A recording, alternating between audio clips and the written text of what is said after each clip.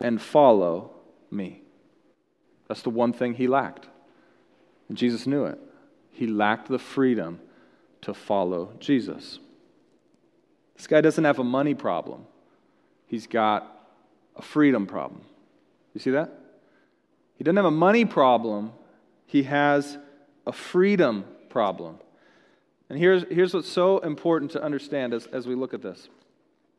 Some of you hear this story and you, and you start to tune out because you say, Thank goodness this isn't me. This isn't my story. I don't struggle with money. I don't have a stinginess problem. I am not rich. I don't have great possessions. I don't str- struggle with any of this, etc., etc. But in reality, you have the exact same problem that the rich young man has. You have a freedom problem. We all have a freedom problem. We're all held captive by something. And in a general sense, we call that sin. But very specifically, it plays out in a million ways in our lives. It's unique to each of us. So take a closer look again. When we think of this rich young man, what, what his actual issue is, it's not really his great possessions. We don't know what the issue is. It's just tied to his great possessions. But there's something underneath that. So, why do the great possessions keep him from following Jesus? We're not sure. We're not sure why he can't sell them, why he won't sell them. There's something else underneath that, some motivation different than that. We're not sure. Uh, let me say it this way uh, not everybody that has a money problem has a gold problem. Do you know what I mean by that? Not everybody that's got a money problem's got a gold problem. Now, you might know people that have a gold problem. For some reason, they keep buying things made of gold. a gold problem, at least how I define a gold problem, is they actually just really like money itself. They like the smell of money, they like the taste of money. they like the look of it. That's a gold problem. But that's only one type of money problem. There's so many other types of money problems. Money or wealth, it's a very interesting thing because it's just an abstract currency for that which represents everything else. It just represents something else. So, first of all, let me just make this very clear if, if, you, if you make, I looked this up, if you make $40,000 a year, which in our city is, you know, plenty of people make more than that. But you would be the 33rd million, 982,066th richest person in the world. Well, that's saying something in a world of 7.6 billion people. That puts you in the top half of a percentage of the world. So you probably got a gold problem, but you probably got another kind of money problem too. But whatever your income level, what we have to figure out is what is truly underneath the money problem. What is the freedom problem? What are you beholden to? What is the great desire that money represents to you? So, so let me help us get to this deeper issue. Let me help us to ask this question What does your money represent to you? So, to, get at this, I'm going to show you how the exact same hope statement could be tied to all sorts of different motivations, okay? So, here's the hope statement. If I could only afford to live in this neighborhood, that's the hope statement. If I could only afford to live in this neighborhood. If I could only afford to live in this neighborhood, then I'd have a very cool house with air conditioning and three car garage. This is because my money problem represents a possessions problem. I like stuff. Now, if I could only have this house in this neighborhood, other people will see me as successful, accomplished, hard worker, maybe even hip and trendy because I live in this neighborhood. This is because my money represents a status or an appearance problem in my life. If I could only afford to live in this neighborhood, it would mean that I could do what I want to do when I want to do it, and I'd be connected to other people that could increase my power. This is because our money represents control or power. If I could only live in this neighborhood, I'd be close to all sorts of great restaurants, fun nightlife, probably meet other really fun people who would probably invite me into their really fun experiences. Money represents experience, fun, adventure. If I only could live in this neighborhood, I'd feel safe and secure, and so would my kids. Money represents security, safety. If I could only live in this neighborhood, it would be confirmation that I've made a lot of great decisions over my life to get to this point, and it'd probably be a really smart investment. This is because your money represents confirmation of right decision making. If I could only afford to live in this neighborhood, then I could use all this extra space in my house to help others, could really be connected with the neighborhood and the PTA. My money's represented to my helpfulness. I like to use my money to help. So maybe for some of these, you scoff at them. Others might hit close to home. The reality is, the same money could represent so many different things depending upon what motivates you and drives you.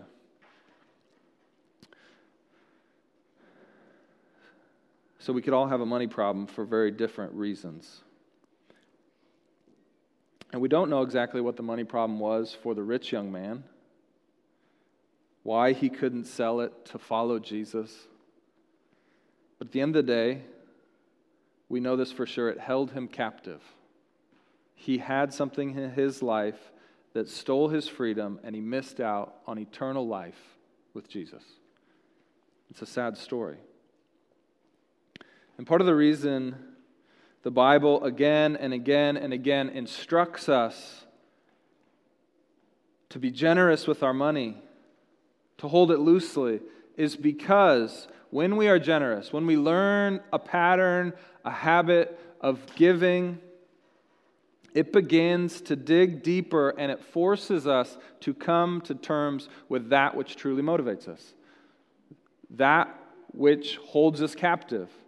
And money becomes this really great spotlight, this magnifying glass that helps us figure it out. Why is it so hard for me to give? You're in the top half percent of the world in wealth.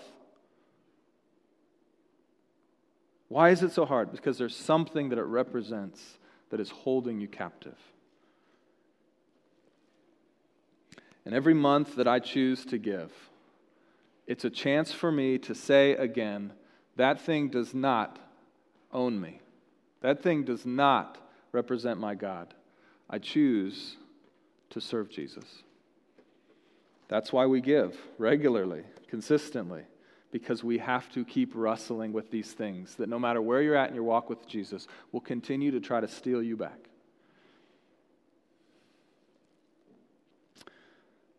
Jesus says, One thing you lack freedom. Jesus says, Turn from that false currency and grab hold of the only true and lasting currency that extends from now into eternal life, and that's a relationship with me. What does your money represent? I mean, I, maybe just write it down right now. I'm going to list off some things. Just write it down. Just be honest. What's, what's the point in pretending? if you're a slave to it, don't you want to be free? What does it represent to you? Adventure? Security? Predictability?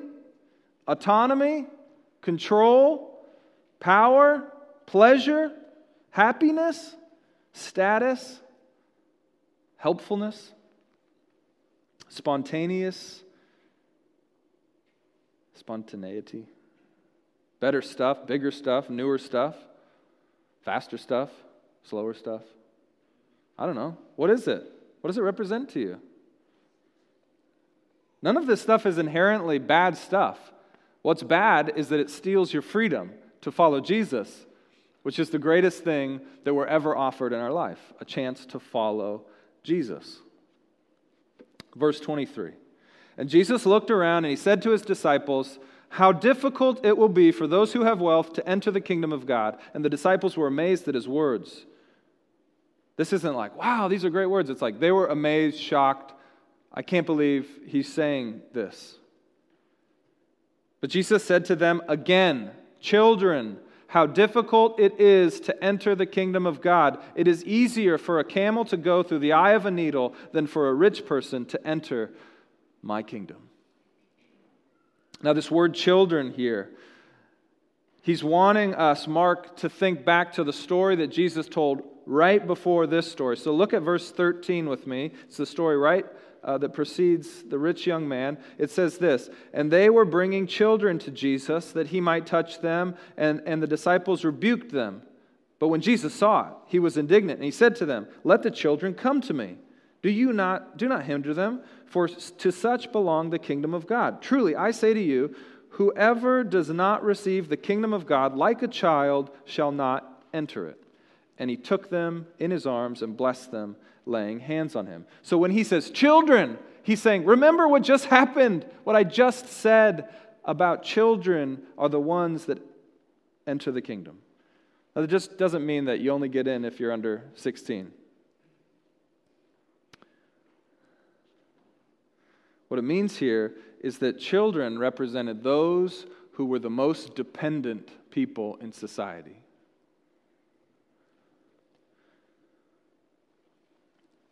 And guess what? The rich are the least dependent. That's why I say the hardest thing for a rich person to do is to be as dependent as a child.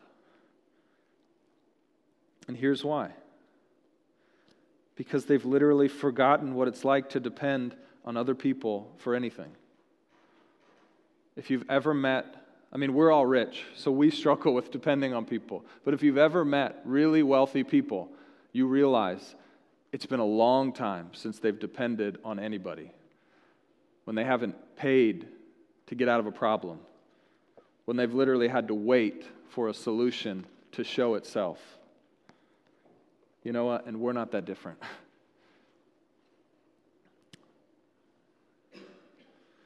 It's also because wealthy people have had lots of other people rely on them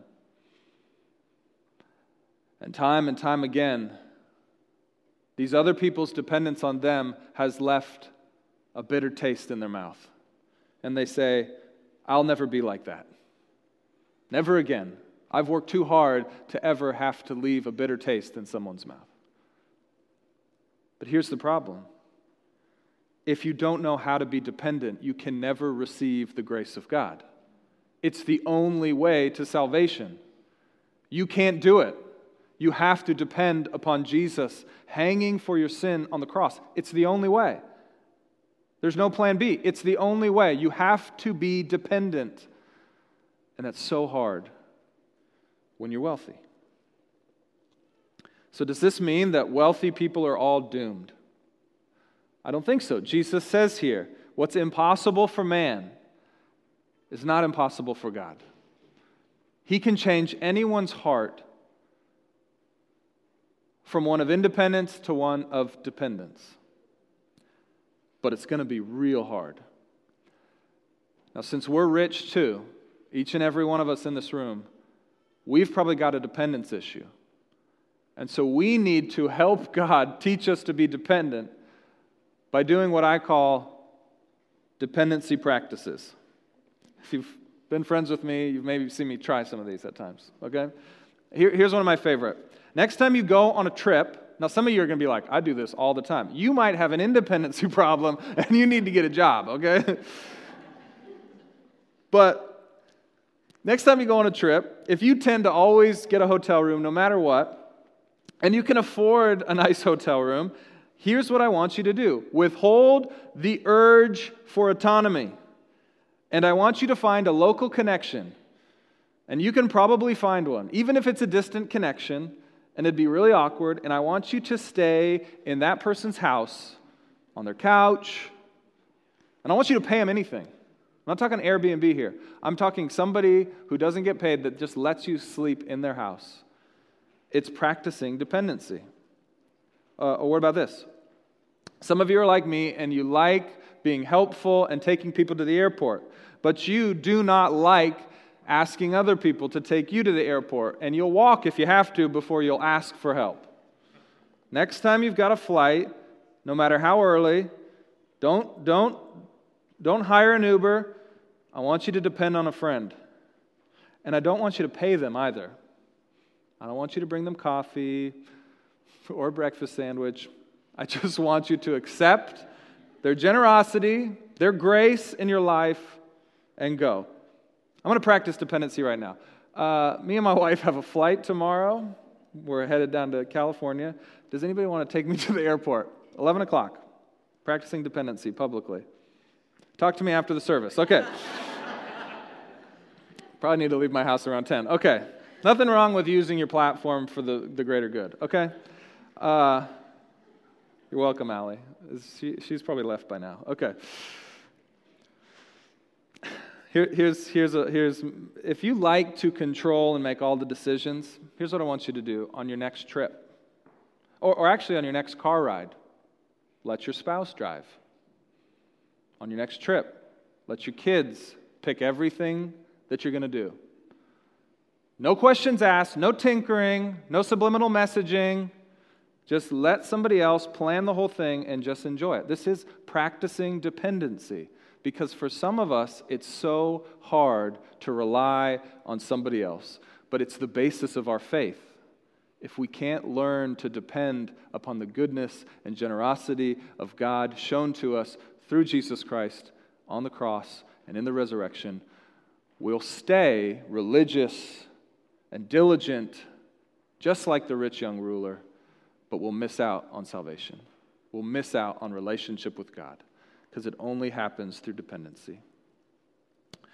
Begin to train yourself so that when the chance comes and you see the truth of the gospel, you see the reality of Jesus, you can just give up what you need to give up to follow him. Verse 22 disheartened by Jesus saying, The rich young ruler went away sorrowful because he had great possessions. Notice what he doesn't do. He doesn't question Jesus. He doesn't say, uh, Could you clarify this for me? Let me just kind of ask you about the parameters here. He doesn't start to argue theologically with Jesus. He just walks away. Why is that? Because he knows exactly what Jesus has said, and he knows exactly how captive he is to his possession. And you know what? He decides I love that stuff more than this eternal life. You see, he came looking for eternal life, but he wanted it as an add on. And Jesus says, I don't do add ons. I'm not an add on. I'm a get rid of that life and start a new life kind of guy. You see that? The guy knew exactly what was going on. He wasn't confused. He just knew he wasn't willing to give whatever motivation, whatever thing was represented by his possessions. He couldn't give it up. Because, you know, deep down, I think it was his identity. His identity was as the rich young man. And it was too much to give that away to follow Jesus. Rich aren't without hope. But with man, it's impossible.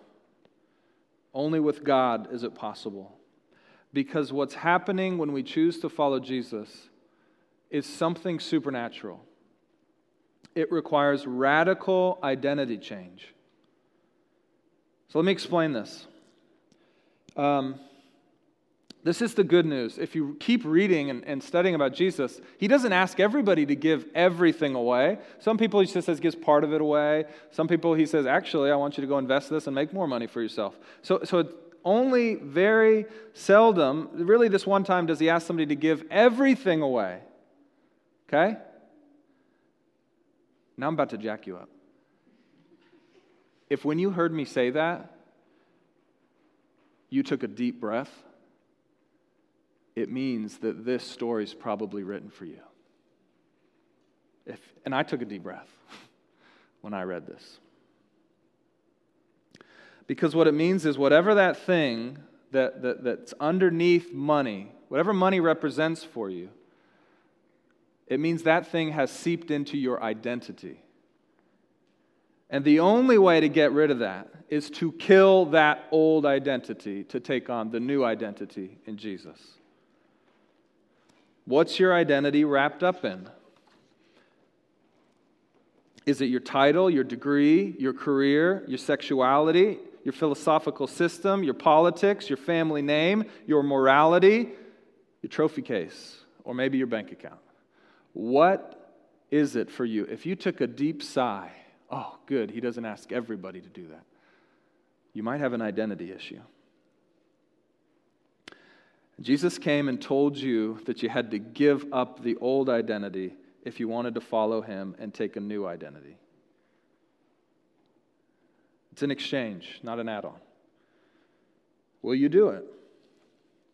Because money and the security of money and the significance of money in my life and the reason that I went into accounting, the reason that I got a master's degree, the reason that I went and took the best job in the industry that I could with the best firm that had the best reputation, because that was so tied up in who I was and for so long had been, it become a part of my identity. For me, I had to step completely out of the world of accounting. I mean, my mother begged me to stay in accounting and just do ministry on the side. And I said, Mom, I can't. My identity is too tied in it. And for years, she said, Don't do that, because she was worried about me. But I had to get out of it. In fact, I had to leave Dallas, where all my friends who were making more and more money, because it really got to me. But I had to separate myself because it was so deep in me. For, for others, I mean, maybe it's you have to leave that whole world. Maybe, maybe for some of you, you need to go cold turkey on travel and vacation. Because if you dip your toe in that temptation, it's too easy to fall back under the spell of an old lover. For others, you might need to purposefully move out of a safe neighborhood into a less safe neighborhood to realize that God is your protector.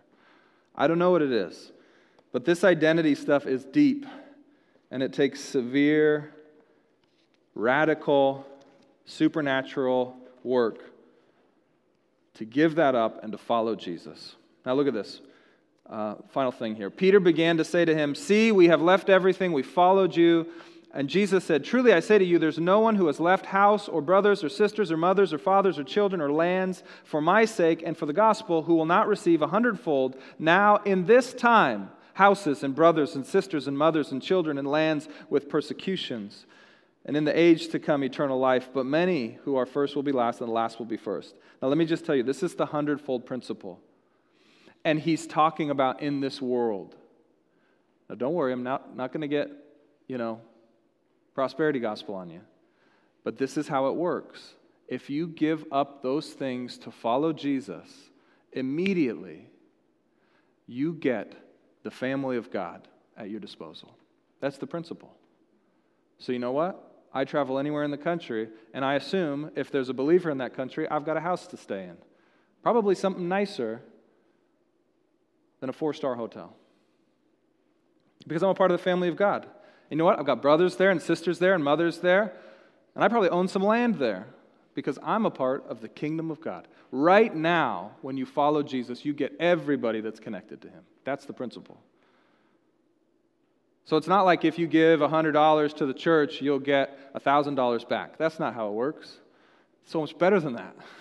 So much better than that. We've titled this series The Most Important Question Ever Asked, which we see in Mark 8 that Jesus asks of all of us. Jesus says this to us Who do you say that I am? And Jesus asks the rich young ruler the same question Am I Lord over your finances? And he couldn't say yes. And he misses out. He misses out on life to the full. Let's pray. Father God, we're so. Uh, we're so wrapped up in this. I mean, we can't go through a day without having money come up. It's such a part of our life and our culture and the way everything works, God. God, I just ask that you forgive me as pastor of this church, God, that I, that I haven't spoken more about this because even as I speak of it now, I realize how important this issue is. This is a discipleship issue. To follow Jesus means to talk about this because it's so wrapped up in everything we are and do. And we want to give that all to you. Jesus, help us to start a conversation with you about what money might represent in our life and, and why we cling to it so. You're standing there, you're asking us this question Are you going to ask me? You say this to us Are you going to ask me what to do with your money? Or are you going to ask everybody else?